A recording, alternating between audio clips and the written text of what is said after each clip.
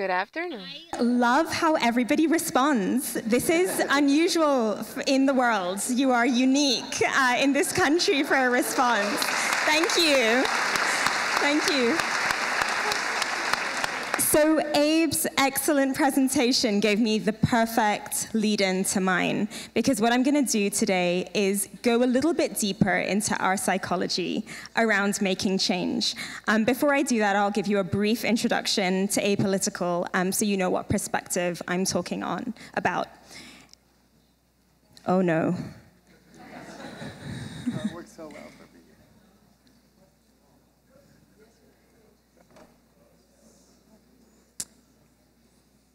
Okay, one back if possible.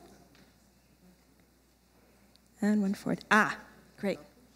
We're good. I'll, I'll, if you stand there, I'll ask for help when I next need it. Thank you. Thank you. Um, so, we often say that government is dealing with 21st century problems with 20th century technology and 19th century institutions. We're trying to put 21st century skills and knowledge at the fingertips of public servants. We pull together the collective wisdom of public servants around the world and turn that into learning, online convenings, connections to help every public servant anywhere innovate. We're used by 35,000 members in 160 countries, rapidly growing, You'll be pleased to know that we are planning to be available in Portuguese early next year to really support the Brazilian market. And we have contributions from civil servants everywhere, from all levels of government, from the innovation team in Los Angeles to your own Secretary of IT and Communications. And the beady-eyed amongst you will also see Abe on this slide talking about free agents on the platform. So, we're here to talk about building skills um, and the competences of a civil service of the future. And in all conversations around this topic, it always comes down to well, it's all about mindset and it's all about behavior. But what does that actually mean? So, in the next 15 minutes, I want to give you all the space to think about what your innovative mindset is, and change in the Brazilian public service starts here and now. In the next 15 minutes, we're going to ripple it out. Ambitious, I know, for 15 minutes, but we're at Innovation Week, so let's try. Okay? So, I'm going to give you two critical ingredients for building a mindset of the future. Um, it is humility and agency. Uh, basically, admitting that you don't know everything, that's humility. And the second is still believing you can make a difference. And I'm going to give you three reasons why these are the critical ingredients. They've got to do with geysers, the Amazon, and great views. These are all clues to the reasons I'm going to tell you about. So, the first reason we're going to start off with a little quiz. So, a, a study was done about innovation approaches in the public sector.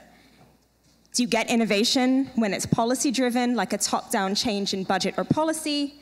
Do you get it with a bottom up approach, where teams are encouraged to come up with new ideas? Um, or do you get it when you bring in external innovators to your department? Now, one amongst these three was proven to be markedly poorer than the other two. And I'm going to ask you to guess which one it is. So, hands up if you think one was the worst.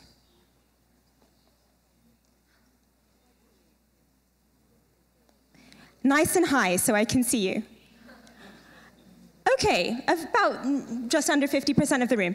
Hands up if you think two was the worst.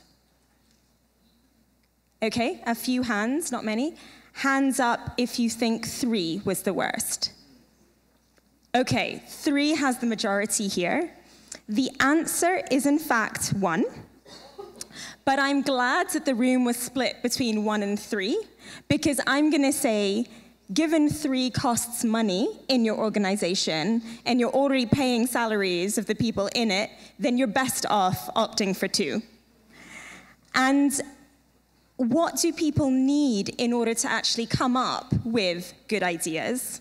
They need to know that their ideas are going to be valued up the chain.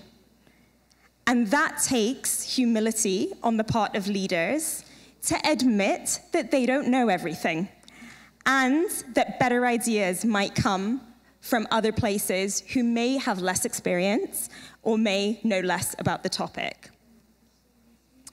Um, we've seen in companies uh, an active effort to try and reverse hierarchy because it is so psychologically ingrained in people to not disagree up the hierarchy. So, for example, there's a famous case of Gucci and Prada, both very well known fashion companies, who um, were sort of neck to neck in 2014. And um, Prada in 2014 experienced a decline in sales, whereas Gucci experienced an increase. And the key reason they attribute that difference to was that Prada, uh, sorry, Gucci, um, employed a shadow board of young people that gave advice to the actual board, and that's why they caught on to digital marketing. Amazon um, has a number of practices to inverse this hierarchy, one of which is that at a meeting, everybody sits in silence for the first half an hour, reading the same memo so they can each formulate their own thoughts, and the boss speaks last. So, think to yourself how are you inversing hierarchy in your organizations to actually encourage people to come up with good ideas and create a psychologically safe environment. When you do give that leeway, people who think they can make a difference will come up with great ideas. And we've seen these sorts of changes in public services around the world, some of which were featured on Apolitical. So in Finland, um, they have really pushed on trying to drive a bottom up experimental culture um, there are experimental what works teams being um, set up all over uh, government, so in Colombia, um, US, Canada, uh, France, um, Australia. Um, and Singapore has really gone hard on trying to encourage innovation by, um, and it doesn't require monetary incentives, it requires recognition. so Teams are encouraged to come up with ideas, and good ideas get recognized and rewarded publicly. On to my second reason another quiz. So, imagine that you you've got a relay race. Team one consists of clones of the fastest sprinter on Earth. Team two consists of the second and third and fourth and fifth best runners. If you had a relay race amongst teams one and two, which team is going to do better? Hands up for team one. Okay, less than 50%. Hands up for team two. Okay, I would love to hear why you think it's team two, but the answer is indeed team one. So the, the, the, the fastest, if you have clones of the fastest sprinter, the team that, that is like five times the best sprinter is going to win. Now take an example like economic prediction. Team one, again, consists of clones of the best economist. Team two consists of economists with different perspectives. If you take an average of the um, prediction of team one and team two, which team's prediction is going to be closer to the truth? Hands up if you think it's team one. Hands up if you think it's team two. right, 100% guys. Um, now, the reason these two situations are different is because economic prediction is a complex problem where one person, no matter how good they are, will not have the full picture. They cannot have the full picture. And so, when you get a team that is cognitively diverse, in other words, they all will have a different blind spot, collectively, their solution is going to be better than even what the single best individual could come up with. Now, I don't need to tell you which category policy falls into. It's not a sprint, it's a complex problem where it's impossible for one person to have the full picture. And that is why um, humble public servants who recognize that they will, by definition, have blind spots when it comes to policy, will seek diverse input into their solutions. Um, the funny thing is, when teams get together that think the same, it feels so good. Everybody agrees with each other, and people think they do really well. And in fact, the performance of those teams is worse than the performance of a cognitively uh, diverse team, even though it feels harder. So it really takes quite a lot of self reflection um, and an active effort not to get, not to surround yourself by people who think like you. Um, this uh, example is taken from Matthew Syed's book, The Power of Diverse Thinking, which I highly recommend. And he even points to the fact that the CIA, the American CIA, who had one of the world's best recruitment process, um, hired very talented people, but hired talented people who all thought the same. And that contributed in part to their inability to properly interpret some of the warning signs in advance of the 9 11 attacks. This is a very high profile consequence of what can happen when you don't seek diverse input. So, governments are doing this um, by building cross functional teams. The UAE puts together these crisis teams. Um, pulling together people from different ministries to solve problems. And there's a huge effort to try and hire more diversity into government. Um, this actually is a platform that um, strips applications of um, uh, name uh, and CV, even, and all a hiring manager initially does when they sift SIFT's applicants is look at their answers to skills-based questions, which are also mixed. Um, this is now being used um, in some government departments in the UK and Australia, for example. But seeking diverse input starts not only within your teams, um, it also applies um, to policy. Um, so, for example, uh, the, U, the Australian International Development Agency is pioneering a new tool that measures poverty at an individual level rather than a household level because the disparity within households is actually quite large. And this disparity is, doesn't usually get um, measured. So, again, seeking diverse input on the same problem by collecting relevant data. Um, and uh, lots of um, governments are creating ways for citizens to participate in policymaking. Um, one of the most impressive is how um, uh, Australia has set up citizen juries which really deliberate an issue before giving an opinion to the extent that they manage to reverse plans for um, a nuclear waste dump being built, for example. The third, um, the third reason why humility and agency are your two ingredients for building a mindset of the future. Again, a quiz. So, a study was done about the individual traits that are most associated with innovative people. Um, I didn't choose these traits, they were in the study. So, agreeableness, conscientiousness, extroversion, openness to experience, and low emotional stability.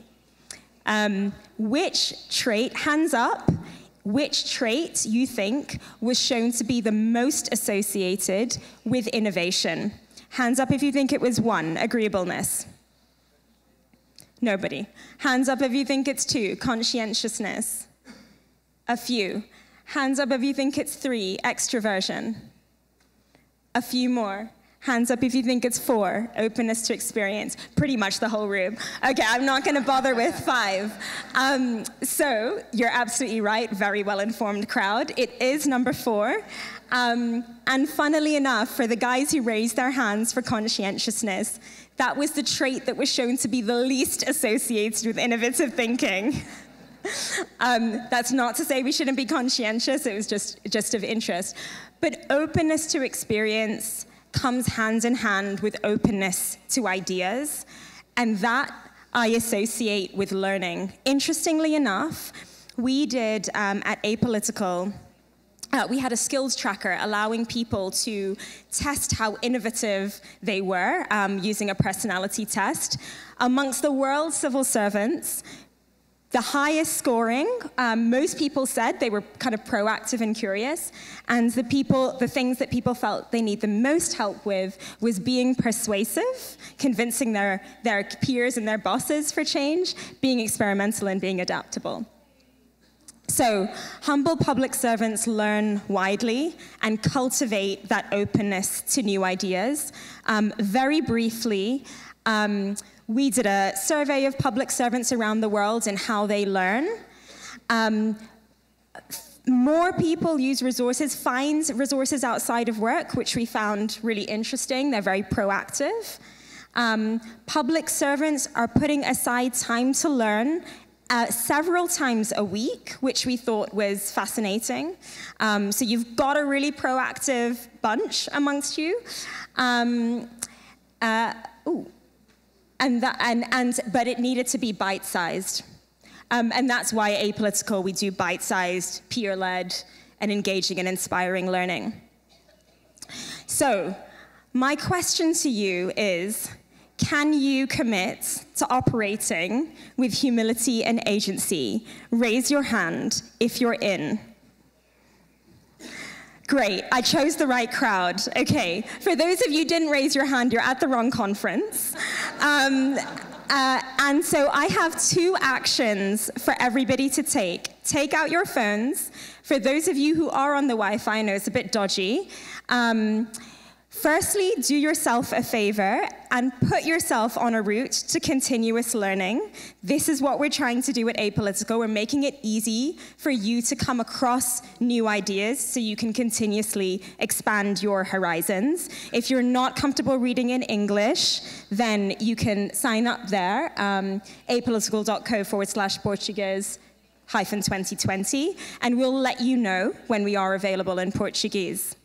Um, by the way, you're going to have to use uh, kind of LinkedIn or Twitter or your government email, and we'll, that'll allow us to vet you quickly um, because the platform is only open to public servants and government partners. The second action, and this is where the real experiment starts, is I want you on social media to express your commitment. Um, before I came, I didn't realize that Instagram was the social media platform of choice, so you can choose Twitter or Instagram depending on what you're on. Um, the reason I'm doing this is not just to be cheesy, it is based on science. If any of you have read Cass Sunstein's book, How Change Happens, he is the godfather of uh, behavioral economics in government he points out that people don't know what other people think, really, and um, people won't say what they think until other people say it. And that's kind of why cultures don't really change. And when people start saying what they think, then things start happening. So we are 400 here, many more listening.